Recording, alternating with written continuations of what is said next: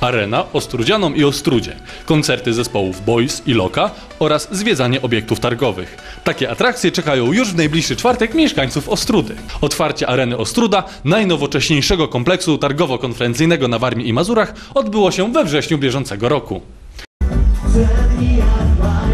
Zespołu Boys nie trzeba szerzej przedstawiać. Grupa Loka natomiast jest autorem przeboju tegorocznego lata Prawdziwe Powietrze. Ciekawostką jest to, że w zespole tym występuje ostrudzianin Mirek Jagielski. Dla wszystkich chętnych zostanie zorganizowany darmowy transport autobusami spod hali Ostruckiego Centrum Sportu i Rekreacji przy ulicy Kościuszki oraz parkingu sklepu Lidl od godziny 15.45. Dla samochodów osobowych zostaną udostępnione darmowe parkingi. Wstęp na imprezę Arena Ostrudzianom i Ostrudzie jest wolny. Początek o godzinie 16.